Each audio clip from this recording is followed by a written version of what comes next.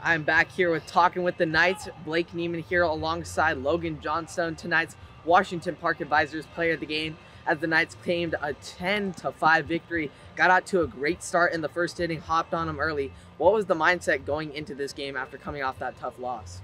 Uh, I think coming into this game, I think just hopping on them early, especially facing a pretty good pitcher uh, with pretty good velo. I think uh, hopping on them early and making him throw strikes was our memo, and uh, we got on them early and got him out of the game um, coming uh, into this game, you knew they were going to fight and they were going to try and get back in the game, which they did get in that three spot um, early on in the game and trying to add on, but you were able to, um, with some RBIs down the stretch, keep them away. Um, what was your, uh, how are you able to uh, get those good pitches and get those good swings with those triples and those the RBIs you were able to get?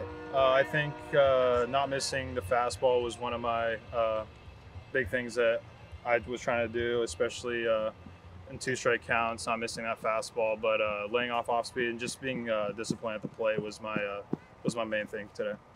Can I get your autograph?